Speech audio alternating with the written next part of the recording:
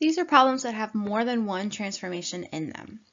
So looking at number 9, we have this negative 2 on the outside of the radical, which means it goes down 2.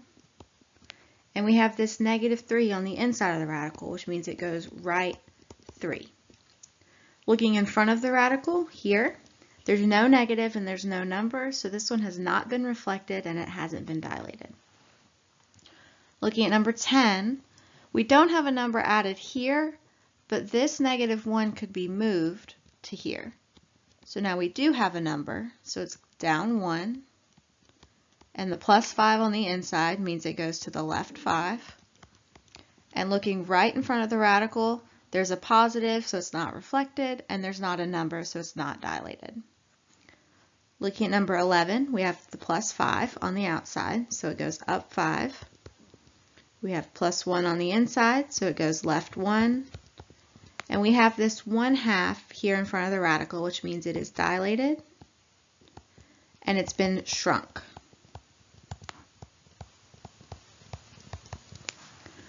Looking at number 12, we have plus 3, so it's gone up 3.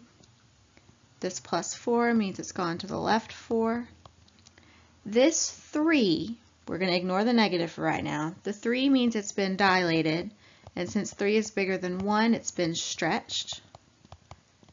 And then since there is a negative here, it's also been reflected.